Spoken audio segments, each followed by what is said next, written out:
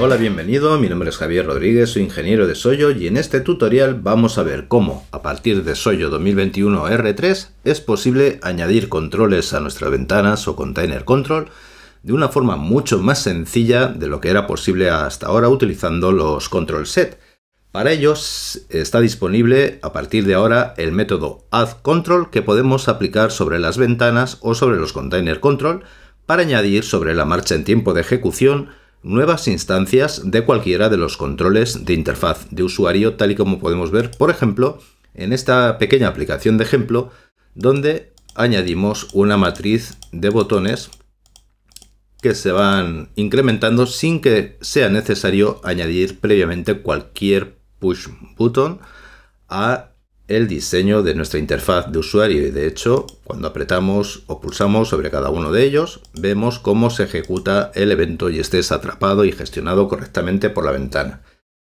¿Cómo hemos hecho esto? Bueno, en este caso hemos creado una clase de base eh, de container control que hemos llamado base container. Hemos definido un evento que se llama control preset, que será el que se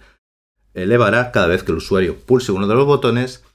y para ello también hemos añadido un método que es el Control Action Callback, que es el que vamos a utilizar y sustituir por el evento por omisión preset para los push button que añadamos a nuestra ventana.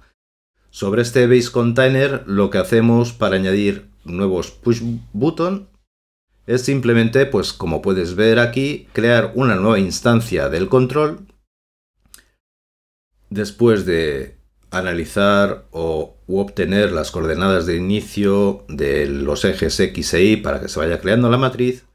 Y aquí es donde puedes ver que no es necesario añadir previamente el control a el diseño de nuestros layouts, sino que sobre la marcha se crea una instancia tal y como haríamos con cualquier otra clase. A partir de aquí le definimos el nombre, el caption que mostrará, así como las coordenadas izquierda, superior y también el ancho que tendrá el botón. Una vez que hemos hecho esto, probablemente ya sepas que se puede utilizar addHandler para sustituir el evento por omisión del push button, que es en este caso preset, por la dirección del método que queremos que se ejecute en sustitución. En este caso, como hemos visto, es control action callback que hemos definido para que reciba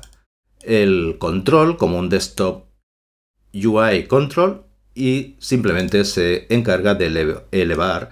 el evento que hemos definido control preset. Con esto, una vez que añadimos el container control al layout de nuestra ventana, e implementamos el evento control preset que hemos definido y simplemente asignamos a la etiqueta con el nombre control preset name, pues el nombre del control que es lo que hemos podido ver en nuestra aplicación de ejemplo. Cuestiones importantes a significar que aquí, aunque el ejemplo nos muestra